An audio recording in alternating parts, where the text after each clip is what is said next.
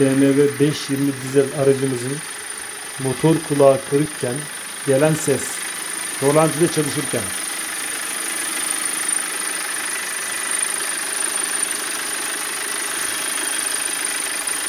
Bir çınlama sesi zil sesi gibi geliyor arkadan.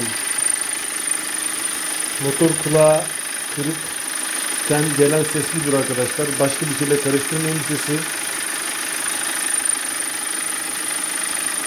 motor sesinin arka planında böyle bir çınlama sesi geliyor kulağınıza.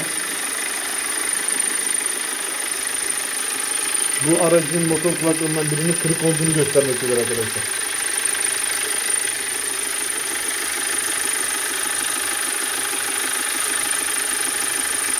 Biraz gaz verdiğiniz zaman bu ses kesilir.